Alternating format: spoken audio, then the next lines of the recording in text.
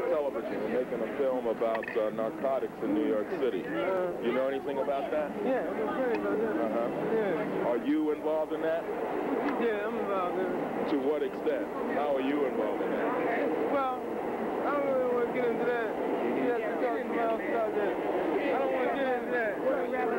And not get into that. Are you doing a film about drugs? Oh, yeah? Yeah.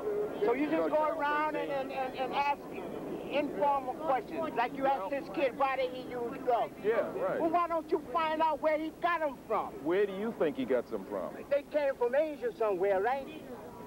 How did they get here? Huh? How did they get right here? Now, that's what you find out. Well, I'm trying to. You don't ask, ask no kid nothing like that. Do that. you know? You don't ask no kid like But that. do you Hey, know? listen. I'm than you, so you don't ask me no questions. Just present yourself right.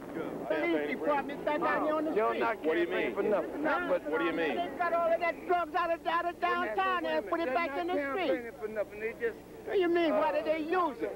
Find out why the police put it back in the street. Why Ask these kids why they Listen, use this it. guy, this guy is saying that the police are putting drugs They out on didn't the put street. it back out here. Everybody know it. Don't ask these kids why did they use drugs. Why did the police put it back out here? What do you mean they put it back out? They did. It was down there. No, no.